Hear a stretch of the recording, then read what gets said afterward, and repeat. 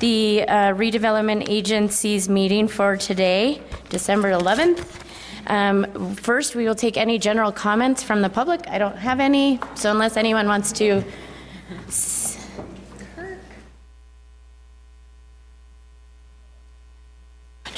Kirk.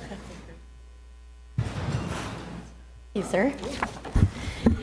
Hi, Kirk. Good- good afternoon. So you have two minutes, please, Thank to you. address us. All Hi. right. Good afternoon. Uh, I wanted to come and just uh, address the board and thank you for uh, the collaboration between the redevelopment agency and Preservation Utah. Uh, I should say I'm executive director of the nonprofit Preservation Utah, and we've had a tremendous partnership for the last five years. Um, and I'm happy to report that uh, our latest project, the uh, Preservation at Work Project House on Arctic Court behind the Marmalade Library is um, uh, past the point of being on the market. We actually have a closing date uh, for next week. So um, we consider the project now a success um, and concluded, but I wanted to come and thank the board members for their vision and support of this project. I wanted to thank the staff. Um, they've been tremendous. Uh, I think we have such a great relationship with uh, Danny and Susan um, and uh, Amanda. Uh, everybody really chipped in from the staff as well. We had a great opening event in October that the mayor attended as well. I wanted to thank the mayor and the mayor's staff uh, for their support for this project as well. And I'm, I'm pleased to report that, you know, the, the person buying the house uh, is a first-time homeowner uh, and is a brewmaster, uh, which I think shows some of the diversity and some of the uh, types of people we want to attract through different housing types uh, and, and property values. So um, I do appreciate your support and hope we contin- can continue that in the future. Thank you so much. Is there anybody else that would like to have, has any general comments for the board this afternoon? In that case, uh, we will move on to public hearings, which we don't have any. And so the first item of business is approval of our minutes. Yes? One more. Got it. We'll wait. We had to wait on those two, so we're happy to.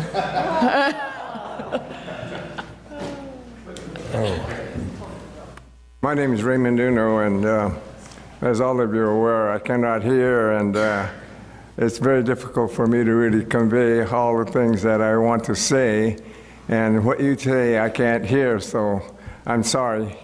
But uh, we appreciate the support that you've given us, and you know, this has been a long, long struggle for the Japanese community, as all of you know. And I think I'm probably one of the few living survivors that has gone through the total uh, change as far as uh, Japantown is concerned. And it's always been a struggle, as you know. And everything that has been done has always been a negative. And we've lived with that, and we try to make the most of, uh, you know, what has happened. And the thing I think I'd like to really stress is we're not obstructionists. We really want to see Salt Lake City grow, but we want to grow with Salt Lake City. And every time we try to do something, it uh, works negatively toward the Japanese community. But it's been a long history, and the project has had, you know, its uh, negative impacts. But it, in spite of all those negative impacts, you know, we've made some progress. And I think that one thing that I really appreciate is finally the city has recognized that there is a problem. And, you know, you have been trying to help us, and we really appreciate that. And, you know, for those that are no, no longer here that used to work with me on this project, I hope that, you know, from up above, they are looking down and saying thanks to you for all the things that you've done. And the, the group of people that I'm talking before now are all younger, and the, my peer group, you know, I have less peer pressure because they're all gone. But, you know, you folks have been really, really uh, helpful in terms of recognizing what uh, the problem is and trying to help us. So anything that you could do that would be positive for us would be helpful. But the thing that I want to really express is that we really want to grow with Salt Lake City, but we want to have a Japantown that grows with it. And we have a little sliver there, as you are, are you know, are aware. It's and, time. well, you know, whatever we could do to make that uh, uh, more positive, you know, for the Japanese community. And whatever we can do as a community, we really want to support whatever you do because we want to grow with Salt Lake City and we want to be part of it. But we used to be pretty, you know, decent part of it, but no, that no longer is the story. So uh, everything that you can do to help us, we would appreciate it. Thank you so much, Judge Uno. We really appreciate your words. Is there anybody else who would like to say anything then? Then we'll now move on to business. So uh, first, we're look, looking for approval of minutes from d- our board meeting on Tuesday, December 4th. I move approval. Second. I have a motion by Board Member Mendenhall and a second by Board Member Johnston. All those in favor? Any opposed? Then the uh, minutes are approved. We're next going to item number two, which is our RDA audit review. And if I can have uh, Mary Beth Thompson and Paul Skeen join us if we need, please.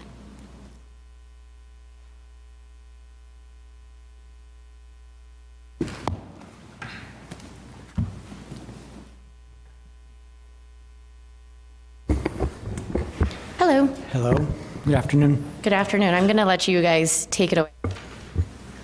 Um, So we have completed the RDA financial audit um, with one small, tiny finding.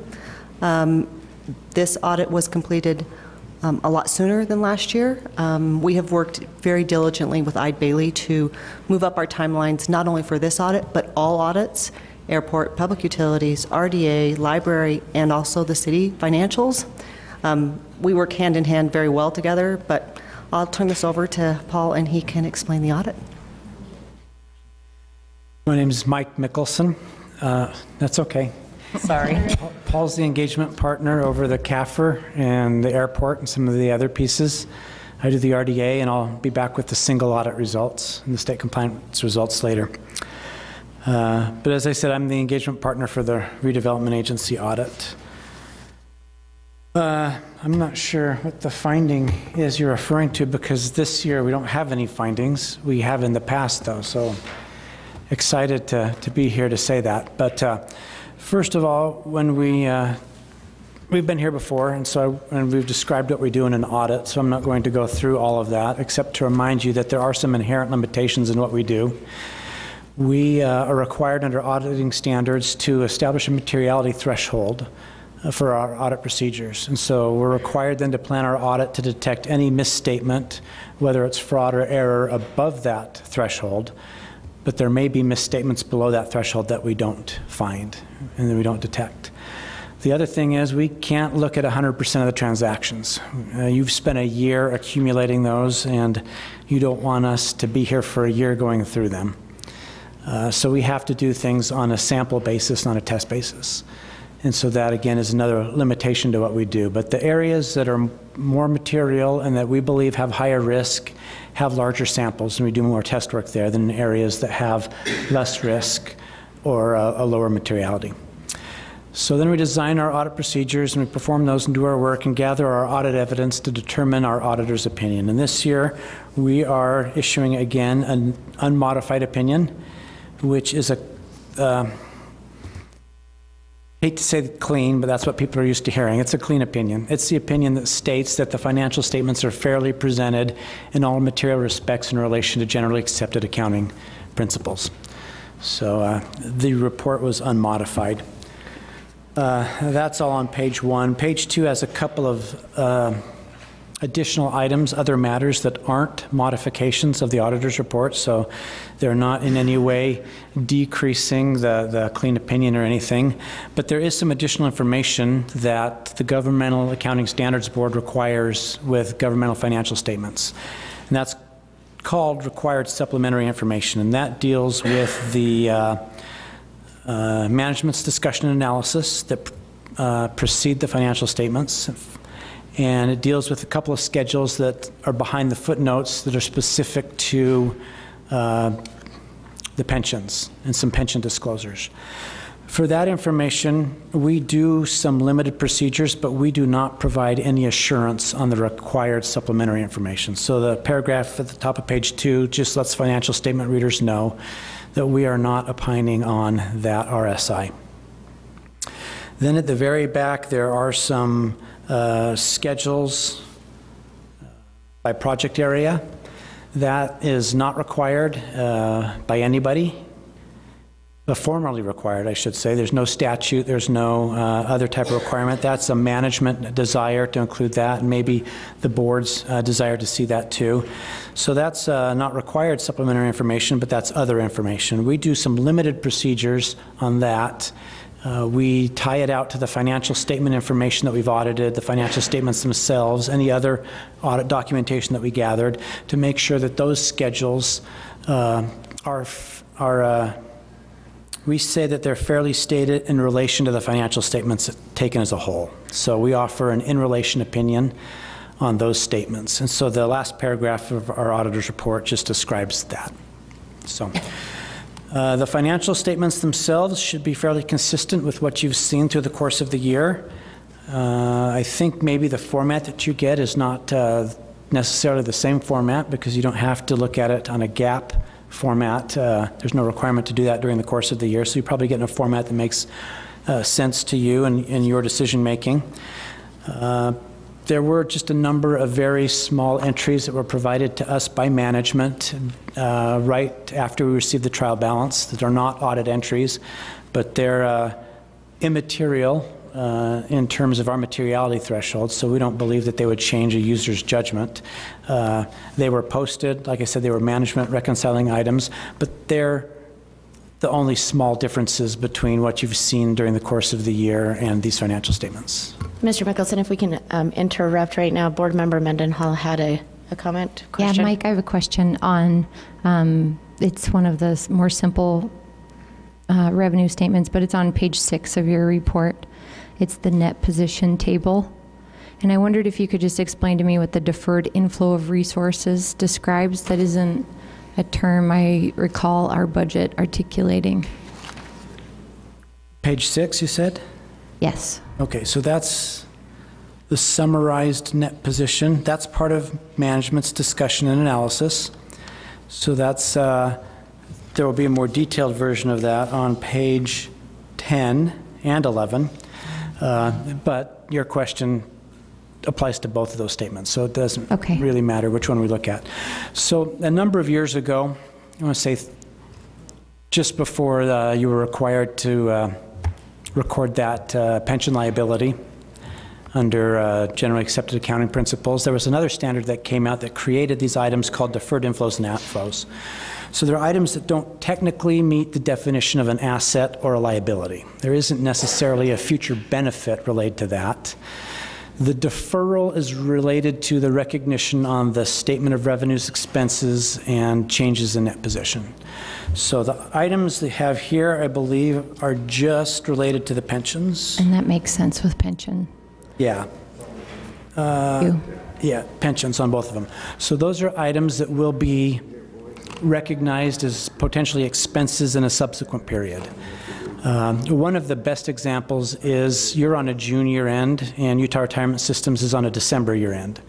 So you've made contributions from January 1st through June 30th that Utah Retirement System hasn't accounted for in the liability as of December 31st, which is what they provided that you've recorded. So that will become an expense after Utah Retirement accounts for it in their following year, because you have that six-month lag between the two years. And so it's, that's one of the things that's recorded as a deferred outflow until it's recognized in the subsequent period. I Thank hope that makes sense. It does, absolutely. Okay, wonderful. Thank you. So behind the financial statements themselves are a number of footnotes. Those are disclosure items that just uh, offer some descriptions of things that you can't necessarily do in the tabular uh, qualitative format of the financial statements. Describes, there should be some description of those deferred inflows and outflows there. Uh, Other accounting policies uh, are described there as well. And then additional information such as capital assets and long-term debt that might be more summarized in the financial statements. There's more detailed information. Then there's a really long footnote on the pensions, if you're interested in that. Um, So that is our the report on the audit is that it's an unmodified report. We have issued another letter that's required to be issued when there's a governing body such as this one. It's fairly boilerplate. It talks about our responsibilities, uh, the plans, scope, and timing of the audit that we did in accordance with kind of what we've communicated uh, previously through the engagement letter. Uh, There's one item I want to address there. The accountings, or the financial statements, rather, they're made up of a number of estimates. Uh, Not everything is uh, something that you can account for exactly. Um, We're required to disclose to you what we think the most significant estimates in the financial statements are, and we, in our opinion, that is the pension liability. Uh, We've talked about that before, but it's an actuarially determined liability that's determined by an entity outside of the city. It's done by Utah Retirement Systems. They hire third-party actuaries. uh, They have their own internal actuaries, and they make a number of assumptions in uh, determining what that liability is. And so that number then is provided to all the governments in the state, uh, their share of it, and so that's recorded. Then the city, once it gets its piece, allocates that out to the different funds and the different component units and things. And so there's been an allocation of the city's share of that liability to the redevelopment agency. And so because of the nature of the actuarial calculation and then the subsequent allocation in the city, that's, that's an estimate, and we feel that's one of the more subjective estimates in the financial statements based on the actuarial assumptions. Go into that. So, uh, Other than that, I'm happy to say that there weren't findings this year. Uh, The the issues we've had in the past years with the- the material audit adjustments, with some stability in the accounting department now, uh, did not come up this year, and so we're not reporting any findings for the redevelopment agency. Any more questions I can answer? Board members? If there is no discussion on this, thank you so much for the audit. I know you guys were working really hard to get it done earlier. We talked about that in staff meeting yesterday, but um, in that case, if there is no further discussion, I'd be looking for a motion to accept the audit and direct the staff to distribute it- it as necessary. Second. I have a motion by Board Member Luke and a second by Board Member Mendenhall. All those in favor? Aye. Any opposed? Here we go. Thank you very much. You're welcome, thank you. Have a good afternoon. You too. You, Mike. Let's see. Next on the agenda, i- we have budget amendment number two. If we can get Ben and Danny, please, and Jennifer's here. You can stay here.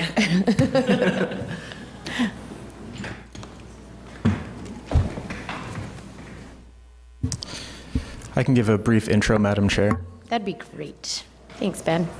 Earlier this year, in RDA Budget Amendment Number One, the board approved $7 million for a potential property acquisition. In the intervening months, the discussions and negotiations were not successful to pursue the opportunity. In response, the board initiated the current budget amendment before you, Budget Amendment Number Two, to pull back the funds instead of leaving them sitting in an appropriated account when the opportunity no longer appears likely. The board held a public hearing on November 27th, the meeting last month, and there are several options for the $7 million in the staff note, and I- I'll review those quickly. The $7 million was pulled from 11 separate project areas and agency funds, and you could choose you could choose to return them back to those contributing accounts on a proportional basis. A second option is you could put the $7 million in an unappropriated holding account pending future discussions and recommendations from the administration on how to use the funds. You could also choose to appropriate the $7 million to the revolving loan fund. And as was discussed previously, uh, some board members have mentioned the idea of seed funding for the new project areas of State Street and the Nine Line as being a potential use for some or all of the funding. And this is not an exhaustive list. I'm sure there are other options, but those are the ones that came to staff's attention. Danny, do you have anything to add on that? I do not. Is there any discussion here? Yes, please. Danny, would you just opine for 30 seconds? Just openly? I think you've heard me mention in past board meeting that Yes. um, I, I'd like I like the option. I think Councilmember Rogers and I believe Johnston. We've talked about the advantages in the past of having s- seed capital money up front when we start a project area versus more of a traditional route of waiting Right. for that tax increment to accrue and hoping that a catalytic project happens. Um, So with relation to the two new project areas and perhaps some opportunities along North Temple for catalytic project, can you opine on the Yeah. opportunity we might have to do, maybe not all 7 million as seed money, Right. although there's some threshold of usability, I understand. I think there's definitely a benefit in terms of having funds available as these project areas get finalized. And, and by finalized, I think it's important to note that while the RDA Board and the City Council have approved the plan, we have yet to enter into any of the interlocal agreements with the other taxing entities.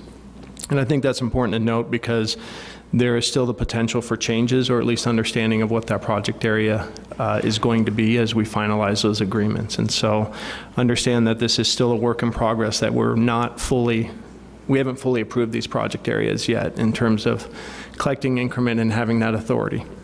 So having said that, I think it is very uh, very beneficial to have funds available to start spending within those project areas once everything is finalized. And, and to your point, potentially identifying projects that we would like to start either getting underway immediately or at least start having funds available. Um, To that extent, what I have said, or what my opinion would be, is that usually the best way to do that traditionally have been to have our revolving loan funds available.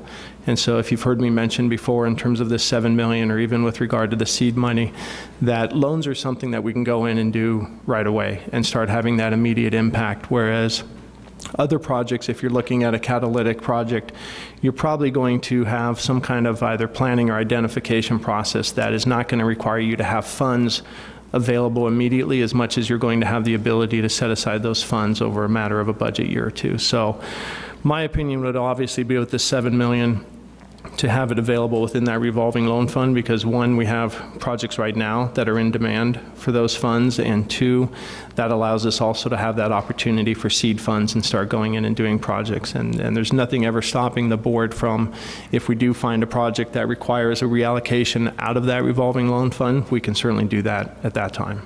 I appreciate that. I think my, uh, to reflect on quickly on what you said, that the placement of the funds into the revolving loan fund doesn't necessarily specify that those probable and hopeful two new project areas would become the recipients of some or any of that money necessarily. There's a lot of development happening in the city, and we do have 11 areas that um, we pulled the money from.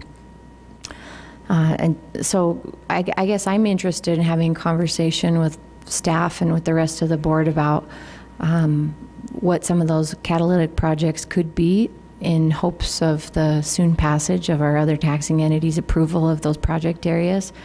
Also, North Temple catalytic conversation, that's one that we've had several times. I know there's some work happening on a specific potential project, but that revolving loan fund pot of money could be some of that um, source of funding also. I also think that by, if we didn't put it into the revolving loan fund, but we did a more specific dedication of some piece of it to the two new project areas, although they aren't completed, that that shows a, a, a nice degree of investment by this RDA to our fellow taxing entities um, that might may be encouraging for them to get this work completed. But so I guess if I'll, I'll make a motion when you're ready for me to make a motion.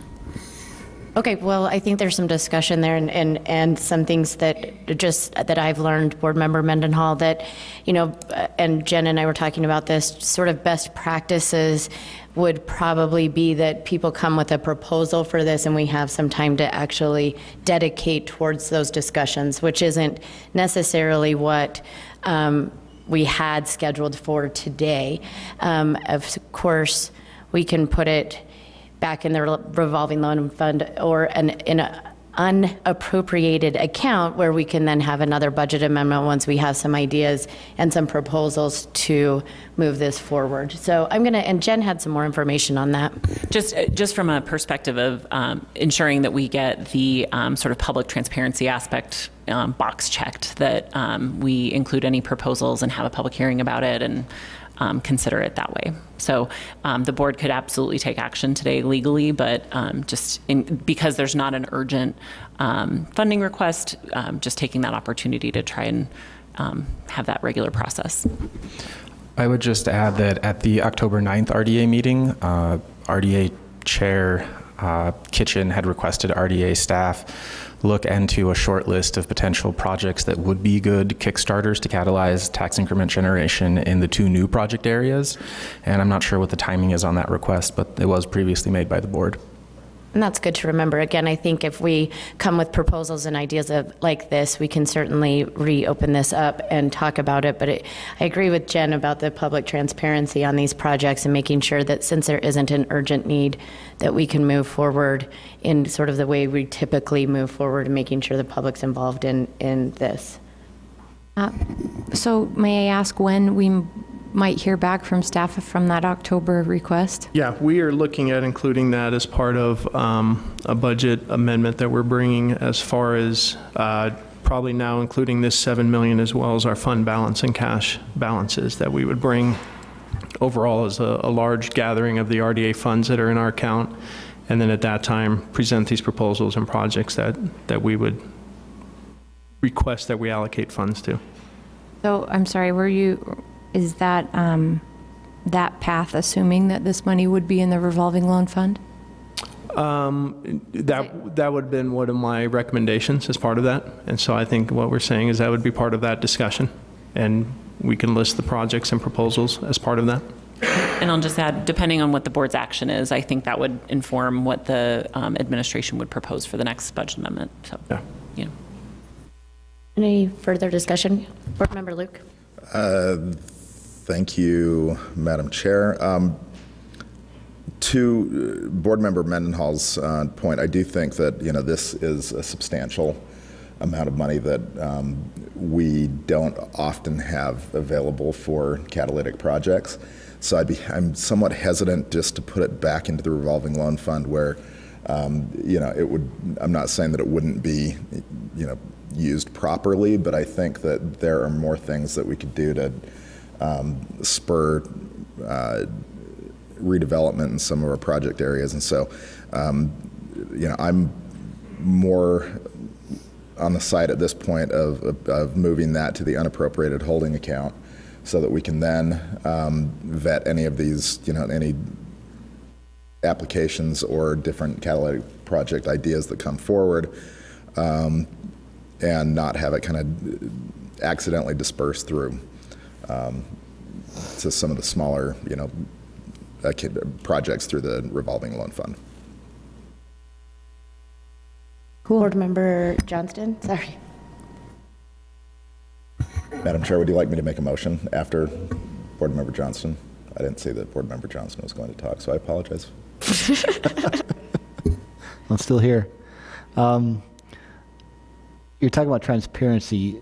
Regardless of where we put the money, though, your transparency is in the process about specific project funding, not in where we put the money right now. Okay. Um, just to be clear, because I think we are unclear about. Right now, we're looking at where do we allocate this money finan- in our accounting, essentially. Um, if we put it into an unspecified account, it doesn't limit us, but it doesn't necessarily make it easy for you to figure out how do you what does that change for you, I guess, from an accounting perspective or or planning perspective for projects?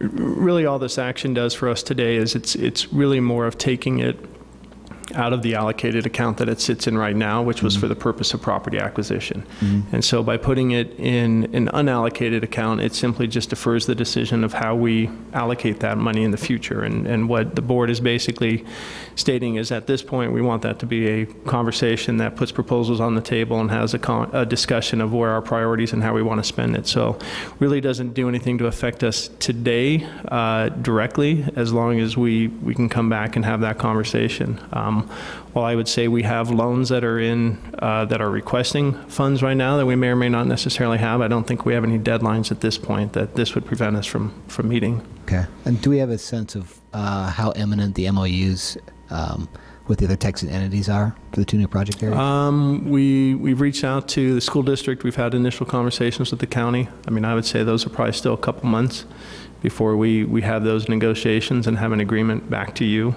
to, to execute and approve. Okay. So it just hits the pause button for a Yes. minute. I, if there's not any further discussion, anybody? Madam Chair, um, I move that we appropriate the $7 million to an unappropriated holding account, and I believe that Board Member Mendenhall has something she wanted to add to that. With the intention to evaluate potential catalytic projects with RDA staff at a upcoming date. Is that a friendly amendment to your That is- motion? That is a friendly amendment, or do you want to do it as legislative intent? Jen? Jen has I'm- the look on her I've got face the that look on my face because I don't know that we have done legislative intents as the RDA board. think we have either. Um, Katie's shaking her head no.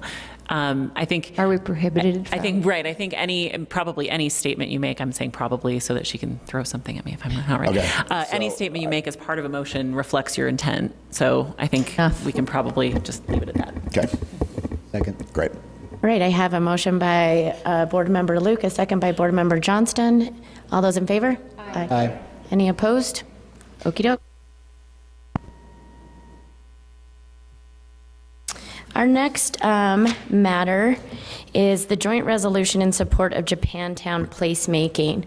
And um, before we, I don't think we're bringing anyone, oh, well, Danny, Danny, you can stay there. Um, Allison, if Allison wants to join us, and Corinne, if Corinne wants to join us. You don't have to, but we like you up here.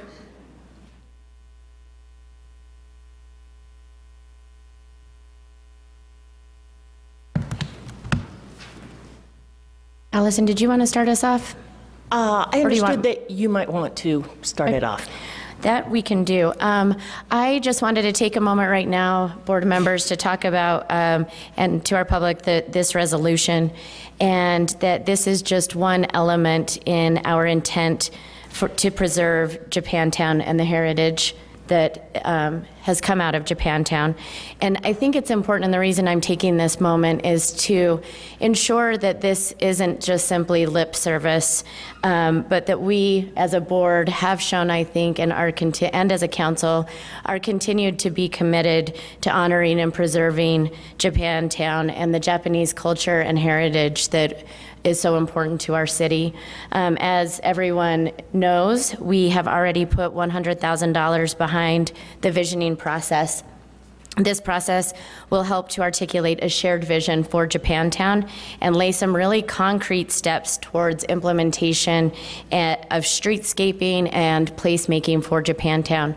Furthermore, um, you know, we have a council legislative intent to ensure that Japantown appears in our city's master plan, and this will allow future developers and future um, uh, governments to, to understand our interest and commitment in making sure that this community is protected and honored. Further, as everyone is aware, this, this came out of a project Block 67, and um, we as a board will be looking at and considering a potential community reinvestment project area in on block 67 and i think as we move forward with this resolution with the commitment that we've all put forward to ensuring the the protection of japantown this will be one of those ways that we can help that entire project move forward hopefully in a really positive way both for the city of course and for japantown and i want to reiterate what judge uno said when he was up here. I appreciate that um, our Japanese American community and we as a board in a city want to grow and work together. And I know that this board, with all of the work that, that has been done to try to create a space for Japantown to be heard, that we will continue to be committed to that that vision and making sure that we're all moving forward together in a really positive way.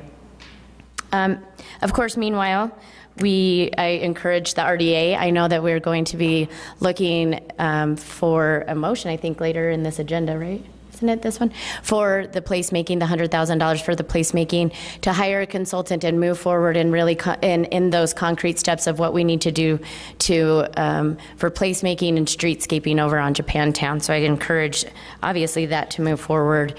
Um, And I think if there's anything else a board member would like to say about this, Miss, uh, Board Member Mendenhall. Oh, I, I was hoping that we could uh, pass the resolution right now. Are we set up to do that? Here, I'm not there yet. Yeah.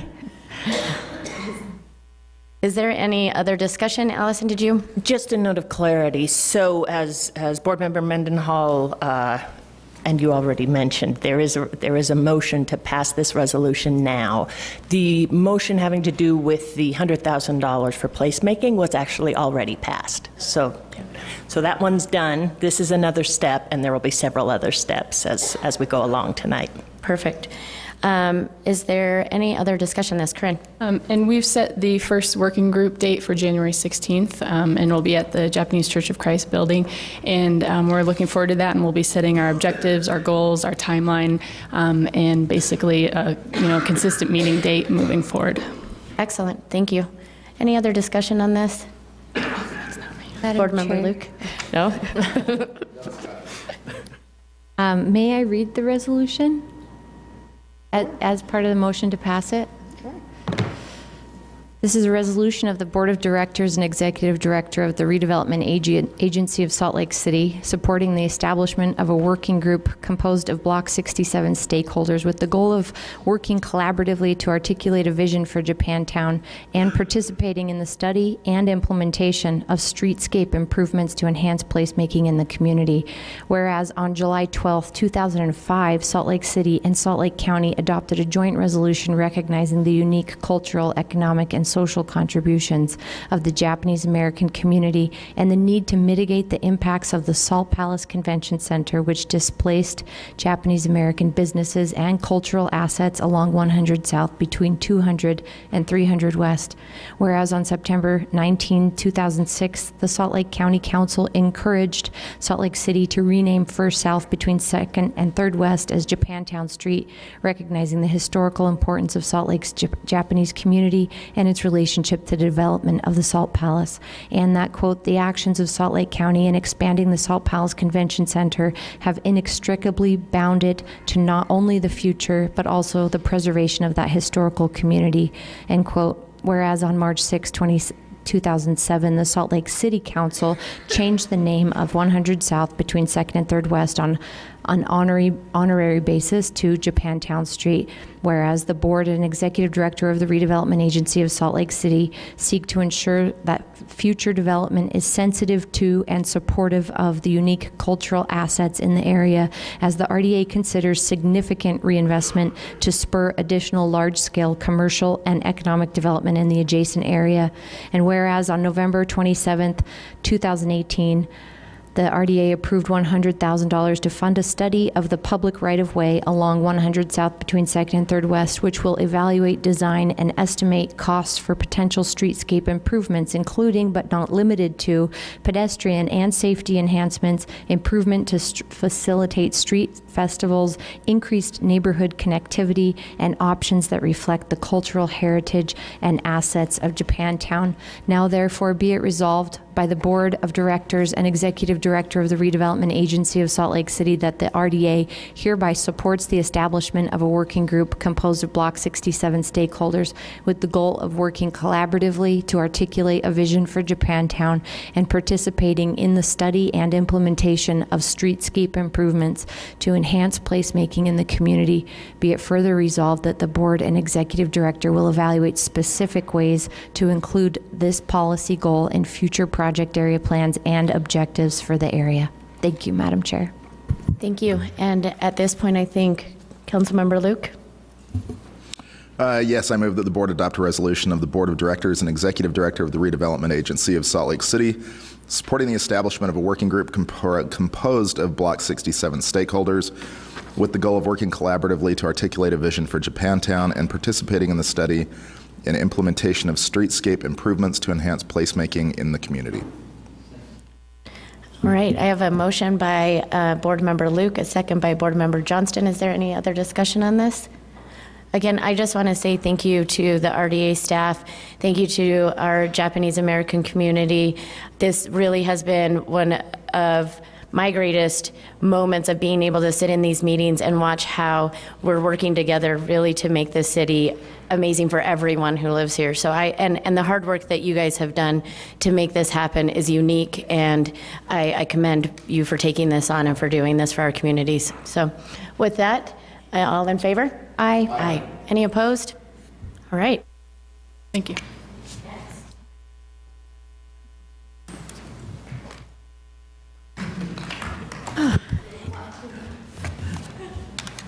All right, with that, we are on to um, item number five, which is our affordable housing coordination follow-up. So if we can get Tammy and Danny, and is Melissa Jensen here? We're a little early. Oh, we are a bit early. We can have a dance party in the meantime if anyone wants, no? Okay. Maybe give a little context of what our goal is.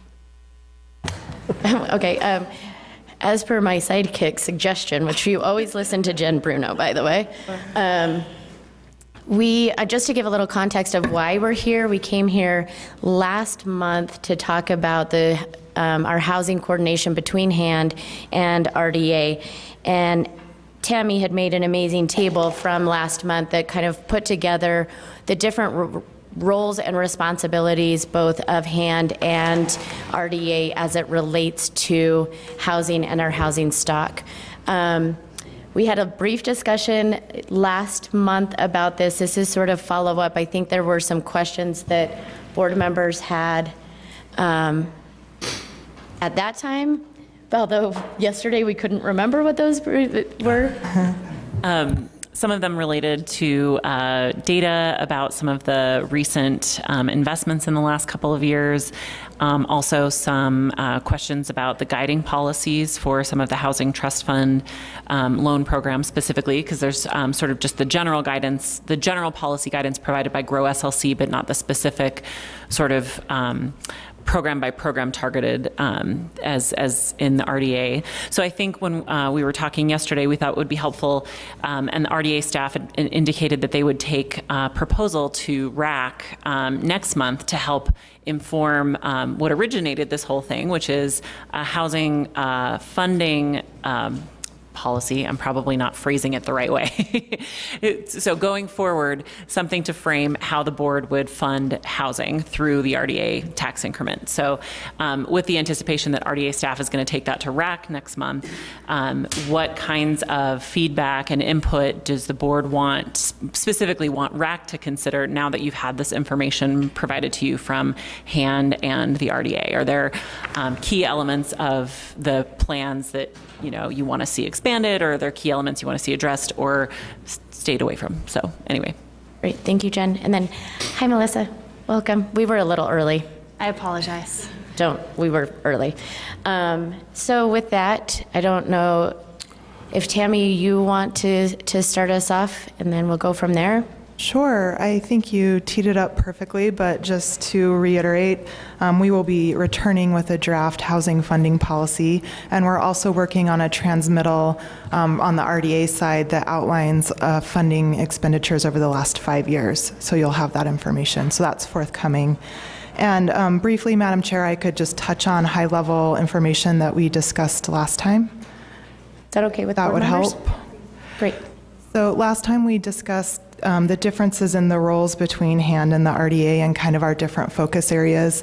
HAND focuses on a wide gamut of housing activities ranging from policy development to more programmatic programmatic activities um, to administering federal funding to community partnership programs um, to providing gap financing through the Housing Trust Fund, and then also looking at city owned surplus property for development, including affordable housing. So, with that wide gamut, the RDA's um, focus area is much narrower, looking at specific real estate transactions um, in our city. We look at um, specifically in project areas how we can use housing development as a tool to further our goals in those areas.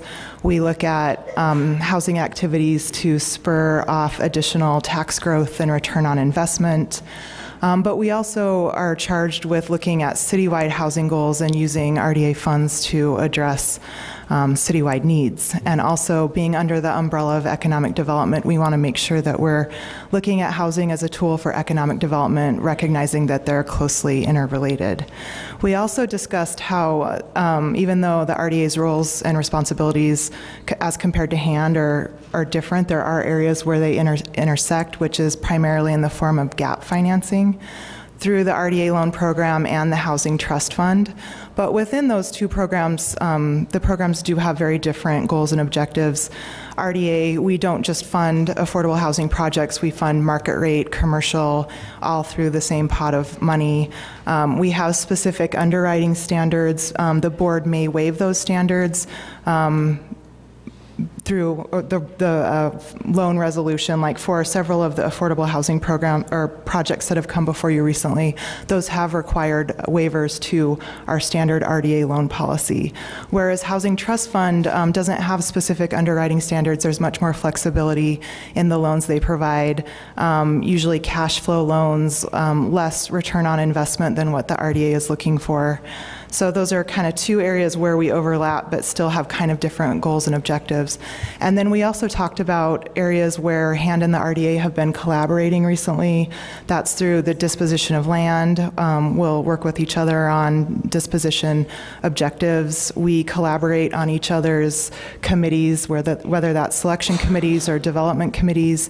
And we also um, have Melissa, um, the director of HAND, sitting on the RDA Finance Committee. So there is quite a bit of coordination on projects and programs um, between the two departments.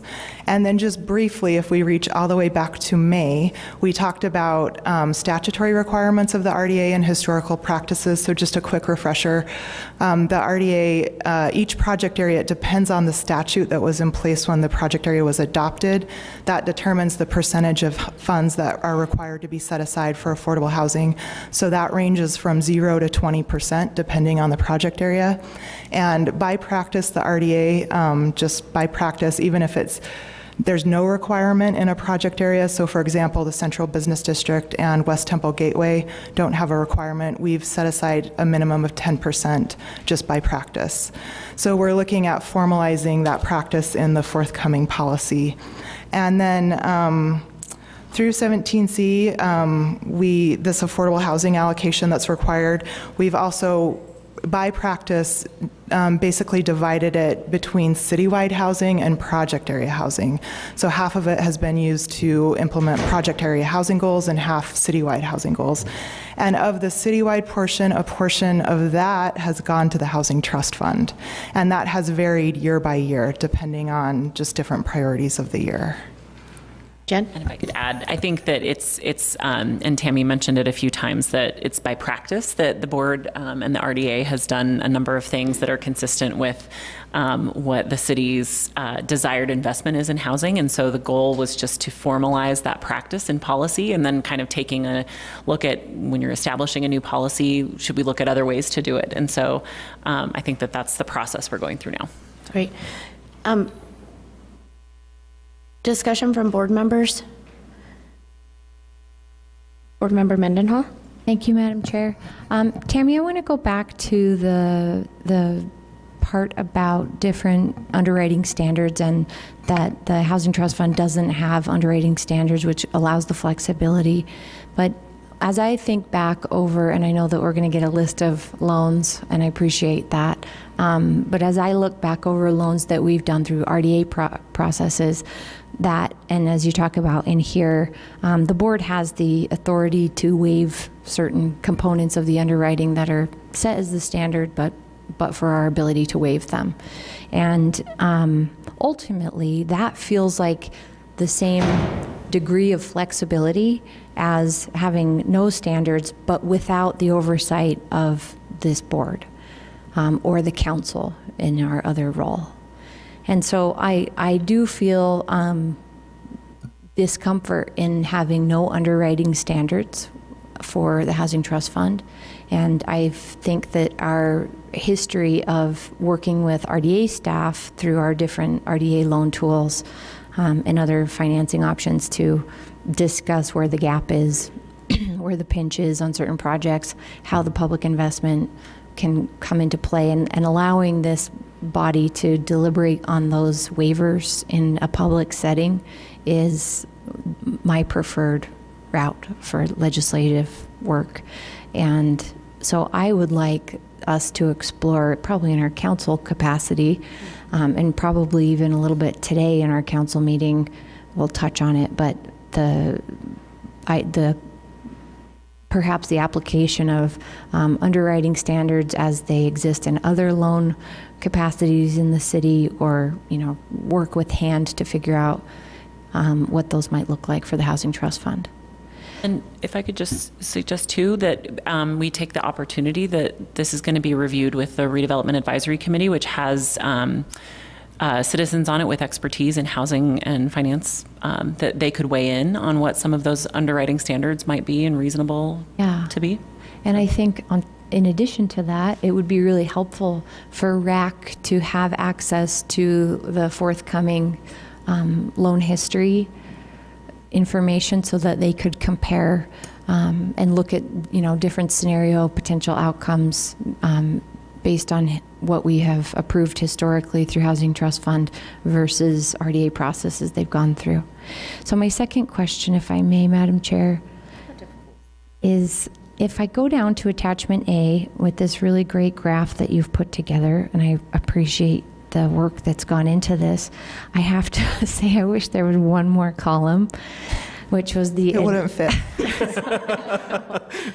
which is an advisory capacity. So we have, I don't know, there's they aren't these rows aren't numbered, but what there's probably 15 or 18 different tools listed under programs. Um, if there were a column for advisory roles, such as the Housing Trust Fund Advisory Board or RAC, which of these would, or if you can tell me which ones, or how many of these would not have an advisory role? Should we start with your first question? Well, I thought that was a statement. Well, um, just, I have just a statement of clarification on your first question Of statement. course. One, uh, one of the reasons we developed RDA underwriting standards through the program was that the board also gave um, the RDA Finance Committee authority to approve loans at 500,000 and below. Right. So that's one difference between the Housing Trust Fund and the RDA um, loan program. Just wanted to clarify that. And I think that's important to bring up in the RAC evaluation, so thank you. Yeah. And then as far as, I'll let Melissa answer for hand, but as far as RDA goes, we have the RDA Finance Committee looking at all of, all of our four program, uh, four programs. Thank you. Okay. Melissa, would you mind? Um, and, and you don't necessarily need to go line by line if you know which ones aren't necessarily under an advisory role. Absolutely. So I think the Housing Trust Fund, starting there, uh, that board has traditionally been used uh, to only oversee Housing Trust Fund loans that went out the door in terms of cash. So it's certainly an applicant-driven uh, advisory board. Um, All of our federal programming, I would say, does not have an advisory capacity um, in terms of like our mortgage program and the community land trust. And, uh, you know, we have a- about a $50 million plus uh, mortgage portfolio.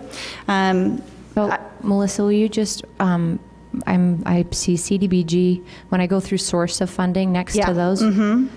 some of those, it looks like it, they come from multiple funding sources. Right. So what about if it's, uh, like, let's pick home repair program? Could an applicant receive both CDBG and program income fund? Uh, Yes, but I would say that that's probably not traditionally how we use it, but I would like to get back to you on that. Sometimes it depends on the circumstances of the home, which funding source. Home is infinitely more restrictive. And so if the um, homeowner, for example, can't afford the repairs that would be required by home standards and life safety issues need to be addressed, we might select to use CDBG as an example. And so it's really depending on the applicant needs, um, how that funding source is determined for, for that specific program.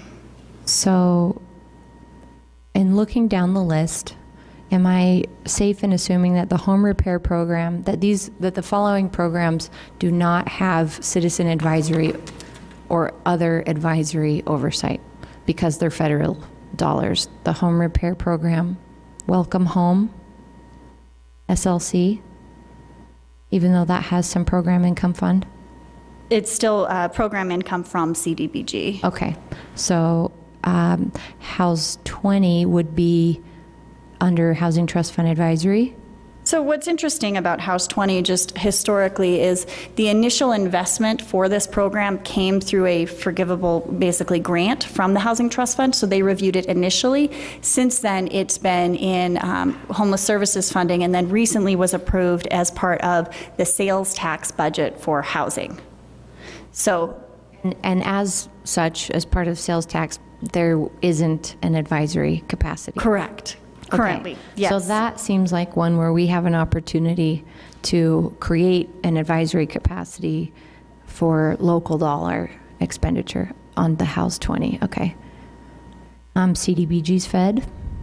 Home Development Fund is fed, right? mm-hmm. Um, Community Land Trust is ours. It was initially federally funded again and then in the sales tax yes So that's another opportunity for advisory capacity. Any others? Well, what I, I, I want to clarify just one point, because as you know, all of the federal funding is approved through the CDCIP board initially in terms of funding re- recommendations and program overview um, for initial dissemination of those dollars. Um, and then what I would say is that disposition of city-owned property um, follows the ordinance associated with that, and I can get you the exact ordinance number, uh, but no advisory capacity, um, although often we um, use what's called a design review committee, and I can talk about that later. Um, Impact fee waiver, we haven't really established yet. I think we're still in the midst of sort of that policy discussion. And then you have the additional sort of uh, continued federal grants. And then all of the new programs at the bottom. Correct, yeah, which is, I think it's to your point, uh, Board Me- Board Member Mendenhall, um, about the opportunity there if there's a desire to do advisory capacity and what that would look like and the framework for decisions. So to my peers, I, I feel that um, as we've we've worked so hard as council and administration and RDA staff to open the doors to housing opportunities in the city, created new funds, be and it have been creative about ways to incentivize this growth. Um, I think it's requisite that we have a conversation around making sure that there's the citizen advisory capacity of those professionals who don't work for the city, but whose job we um, we rely on with all of our RDA loan programs, and we rely on with the Housing Trust Fund. But we've identified you know, about ten um, hand tools that are really important tools for making housing happen, but where there isn't um, outside expertise giving us advice on some of those loans. But this is um, probably not an RDA action. No, but I welcome the conversation. I think we all do because one of the things I think we've talked about throughout uh, the last year that I've been here is what the role is between RDA and HAND, and it's something that we've that sort of spurred all of this conversation. Is me, I think, being a pain sometimes of saying, what's the mission here and what's the mission here, and how do they go together or not go together? And are we reinventing the wheel in some places where we don't need to be reinventing the wheel? And now I think that Board Member Mendenhall, you're absolutely right. Not only have we opened up opportunities for housing, but I think the RDA has gone through some pretty critical oversight over the last couple of years, from my understanding. Um, and that it has created, I think, some some good policies for which we can move forward for our housing and our economic development in RDA areas. And I think we have a real opportunity now with our sales tax to say kind of almost the same questions and this the same I would say, analysis perhaps of what happened with the RDA to do here so that we're really capitalizing as much and leveraging as much as possible those um, anticipated and hopeful new sales tax dollars to create affordable housing. And I think there's a real, a real opportunity right now to understand what these two different roles are and how we can move forward um, in the best possible way. And this may be one of those questions that, that does come up in a council meeting of what's the oversight? How can our citizens who do have experience in this help us help us really move forward with the sales tax dollars so we're getting the biggest bang for our buck with affordable housing, right? And I think to the point uh, that um, Tammy brought up, I mean, you're looking at creating a policy to take to RAC regarding how RDA is going to fund certain housing policies, correct? But how does that change with the sales tax dollars? How are we looking forward at what those sales tax dollars are and how are these policies going to benefit both of these programs in the best possible way so that we're, again, and I don't mean to kick a dead horse, but like, that we're really getting the bang for our buck that we need and deserve for our housing markets and for our development as a city, right? And so I, I welcome this conversation. I think we're going to continue having it a lot.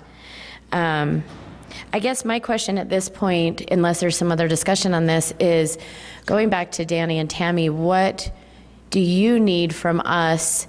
What input would be helpful from us as board members um, as you're creating and looking at the policy? I'm not just creating, I'm sure tweaking it to get it over to RAC. What, is there anything that we can can help with from our end? Um, I, speaking on behalf of Tammy, and I'll let Tammy add to it, but I think this conversation has been extremely helpful. Um, I think the direction, and, and as we're working to pull together the history of our, our projects over the last few years and what those have looked like, incorporating that in our conversation with RAC in terms of have we seen something within those projects and what we've been asked to bring to the board in terms of waivers that we potentially want to incorporate either within our policy and or are there projects there that align higher with the, the priorities of what we see as the agency to where we want to make sure we have that funding allocation appropriately divided. So um, this was this was done at the request of the board to bring this information. So I think if there's any additional information that you'd like to have us see or have RAC review as part of finalizing that policy and bringing a draft to you, this is what we're asking is what, what else can we bring to help that conversation and, and reach that decision? Madam Chair, I agree wholeheartedly with everything that's been discussed. I just would like to have some sort of balancing test to see if policy implications will delay some sort of funding process through programs or if it will actually speed it up. So some sort of idea that we can see from the, each department how that will affect their, their departments and funding.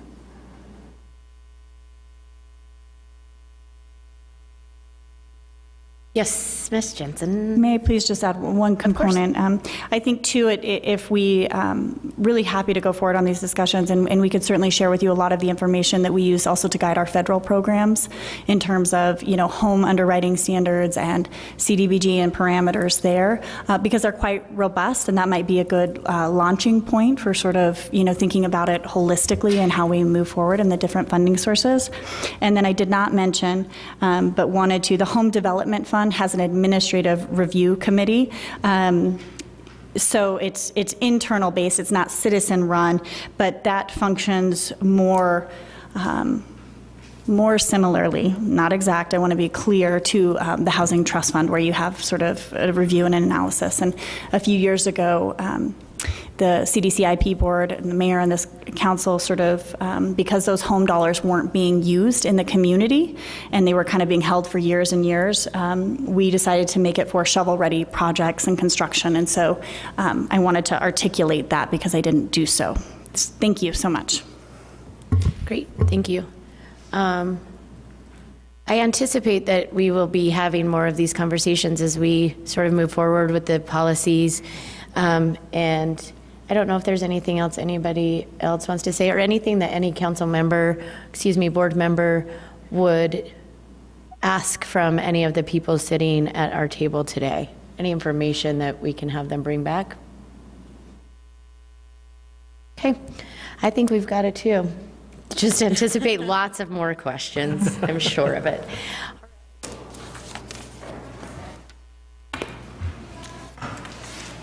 Thank you, guys. Danny, it's your show. Um, Thank you, Melissa. Thank you, Tammy. Given that we just met a couple weeks ago, we don't have much to report, other than um, just wanted to uh, bring the board up to speed and make you aware that um, we have been, we have regular meetings with the county in terms of the operations of Eccles, but we have been working with the county of reaching out to engage GSBS architects to help us start looking at different ways that we can uh, activate and further improvements we can make to McCarthey Plaza as part of the theater. And so I know there's been some discussion in the past on that that some of you may have been involved in, but just want to give you heads up if you hear anything on that, that that is something that we're taking on of kind of trying to make sure that that plaza starts realizing the, the vision that it originally had that kind of has struggled as the theater has opened up in terms of theater has been very successful. And as such the plaza serves very well as the loading dock that it's intended to but unfortunately a lot of the other activity has not come to fruition. So that's a effort that we are undertaking right now and happy to provide any updates or or information on that to anyone at any time. So. One other question on that, that could happen in a, a future follow-up, but I would, um, and we raised it when we had um, some of the county management folks here just recently. Yeah, for the budget report on the theater. Thanks, Jennifer.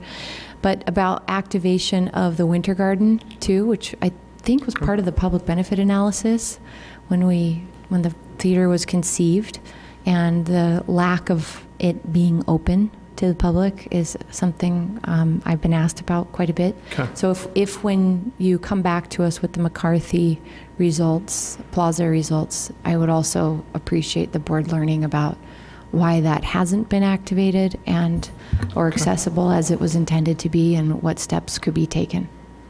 And I'll just chime in just as a board member on the Eccles um, Theater Board that um, we've put that request in um, for CFA staff to begin considering that now in the winter. They, they did make the point that in the winter months, the challenges are a little, you know, there's a little more challenges with cleaning and things like that, but that they were willing to look at it because they recognize it also as probably their, one of their weakest points. So we're going to keep asking about it just as board members too. So I think that'll help. Okay, thanks. That's it. Luke? Just to, to build on that, I mean, that, that was one of the primary um, things that, that we as not only an RDA board at the time, but as the council, uh, were the most excited about. Um, the Eccles Theater is fantastic. Um, it's a great addition uh, to that downtown block, but it is it is not accessible uh, to the public unless you are going to a show there. That was not uh, what we had discussed. Um, so I, I appreciate you raising that issue um, as a board member. Great. Anything else, Danny? that's it unless there's any questions Nope. And I don't think I have anything. Any questions on the written briefing that we received? Or discussion on that? Great. In that case, I will look for approval of our consent agenda. We have a motion by Board Member Wharton, a second by Board Member Luke. All in favor? Aye. Okey doke. I think Thank you. that we are done. Uh, What time are we starting our council meeting? Let's start at 3:30. Okay. So we'll meet back in 12 minutes. Great. Thanks, everyone.